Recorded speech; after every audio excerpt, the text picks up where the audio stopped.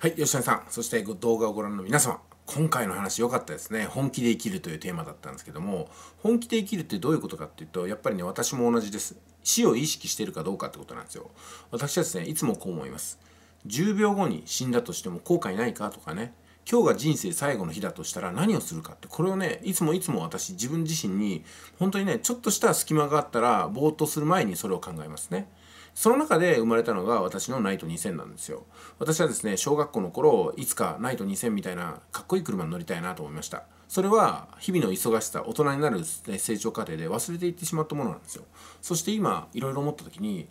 あの、今、あれに挑戦しないと、あの憧れに挑戦しないと、もうね、後回しにしてられないなと思ったんですよ。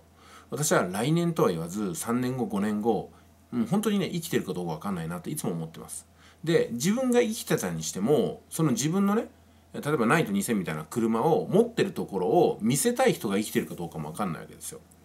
で私がね親孝行を意識したのっていうのはあ親は先に死ぬなっていう当たり前のことを本当に心から思ってるからなんですよね。で死んでしまったらもうね何もできないんですよ。自分の姿を見して喜んでもらうこともできないですし自分の姿を見して安心してもらうこともできませんよね。だからその中で何がその安心材料なのかっていうのは分かりませんでしたけども思いつくことは全部やってみようと思ったんですよ。例えば安定した職に就く何か影響力のある人間になっていく。人に信頼されるようなそんな姿を見せていく。で、まあ、奥さんができたり家庭ができたりとかね。こういったものは人それぞれ何を持てばいいのかってことは変わると思いますけど私の場合はまずは家庭を持ったりとかね安定した収入を持ったりとかもう豊かな時間を持つこととかねそして私は速稼塾っていうのを運営してますけどその速稼塾に運営している速稼塾の塾生さんがどんな人なのかっていう人柄を見てもらうことによってどんなことを私がしてどういうふうに思われているのかってことを見てもらおうと思って私は47都道府県速稼塾オフ会の何箇所かに私の母を連れて行ってるんですよね。で私の父は私の Facebook ライブを見てます。でこういったことをすることによってあ自分の息子はこういうふうになったんだと50を前にして、まあ、人様に迷惑をかける人間ではないのかなというふうに思っていただくことによって私と両親との関係っていうのはねまさに、え対等になるといいますか大人対大人になるんではないかなと思いました。それまでの私はまああのいつもね、え未来を語っていたように思います。そのうちこういうふうにするからとかあ昔はこうだったからとかね。今を生きてなかったような気がするんですよ。でも今はね本当に繰り返し思いますけども人は死ぬんだっていう当たり前のことにね、えー、心を、まあ、動かされていると言いますか。私のモチベーションの源源っていうのは人生には締め切りがあってただそれだけのことかなと思いますよね、えー、関東大震災、まあ、じゃない東日本大震災の例を吉谷さん出されてましたけどもうん、あの姿を見ていまだにですね時間が永遠に続く。自分は今日死ぬわけではないって思ってるとしたら私はちょっとのんびりしてるかなと思うんですよ。本当に日々締め切りっていうのは来てます。今日やらなければ明日以降は永遠にダメだよできないよってことが日々生まれてるのに気づいてないんですよ。私もね毎日のように思いますよ。あ昨日やってたからよかったと。今日は多分もうできないだろうなってことがいつも見つかるんですよ。10年前にやっといてよかったと。今だったらもうすでにもできないなって思うことがあるんですよ。その一つが自己アフィリエイトだったりします。自己アフィリエイトを始めたのは私2013年なんですけどもそれから3年間毎月毎月10万以上の利益を出し続けてきました。そしてアフィリエイトも達人になりました。おかげさまでランキングのトップ10にどの ASP でも乗るようになりました。でもそれはその時の体力気力それから周りの環境危機感いろんなものが組み合わさってその瞬間だけマックスで動けたと思うんですよ数年間は。でも今から自己アフィリエイト私がやろうと思ったら自己アフィリエイトの環境も当時よりは悪くなってますしいろんなことでね結果は出にくくなってるなと私は思うんですよ。少なくとも3年間で1億円稼ぐようなその入り口のアフィリエイトはできなかったと思います。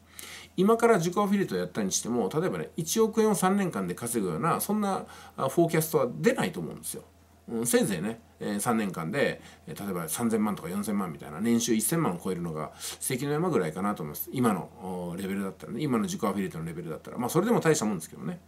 まあそういうことをいろいろ考えたら今しかできないこととかもう今が締め切り今日が締め切りってものが山のようにあるわけですよ。なのになぜかですね、えー、自分のペースでやるとかまずはあ目の前にやることをコツコツこなしますみたいなことになっちゃうんですよ。それはねあの悪くないんですよ目の前のことからやっていくっていうのは。でも本当に目の前のことしかやらなければ、まあ、それ止まりなんですよね。圧倒的に人生変えたければ今までもうやらなかったような人生を歩まないといけないんですよ。うん、本当に渦中の栗を拾うではないですけども裸足で茨の道を歩くような覚悟がいります。どうですかね？今朝6時40分ですけども今日が最後の一日だとしたら今あこの動画を見ながらね今それをやってますかってことなんですよ。いやいや私の動画見てますかって今日が人生最後の日だったら。だから今日が常に人生の最後だと思って、えー、行動しなければならないと思うんですよね。私はいつもそう思いますよね。だから俺たちに明日はないじゃないですけどもあの明日以降の予定って私はねあんまり当てにしてないんですよ。今日やりきるそれだけですね。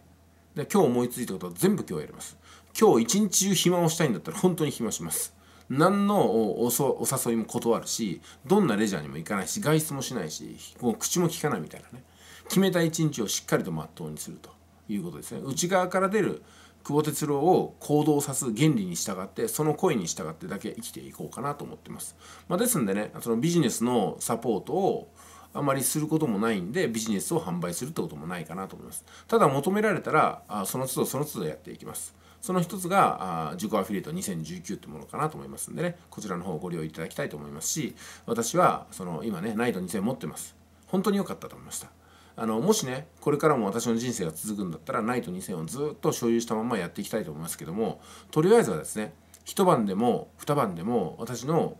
幼い頃から37年間憧れてきたボディを自分の所有物とできましたんでもうねこれで、えー、一つナイト2000に関してはもう十分だなと思います。うんま、私はねこの憧れるだけで人生が終わるってことも想定できたわけなんですけどもなんとか自分がねナイト2000を所有して、えー、それにね乗って走ってそこに大好きな人を乗せて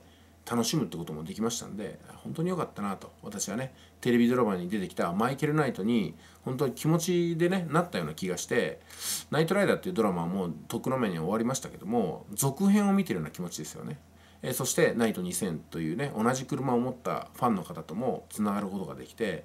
うん、自分の人生が本当にね毎日毎日新しい点が迎えていっていつ最終回でも本当によくやったなと思えるような日々を暮らしてますね。で今日も私の人生は終わりそうにないんで私は今日はねまた新しいストーリーを作っていこうかと思います。あさってがもし私に与えられるんだったらあさってはまた新しいストーリーです。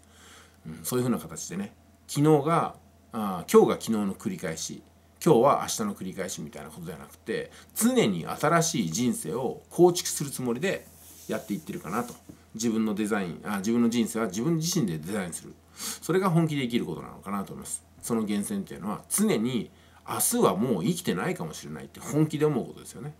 うんいい加減思えないですかねそういうことはね。思えたら多分いろんなことが変わってくると思います。それでは本日今回は以上です。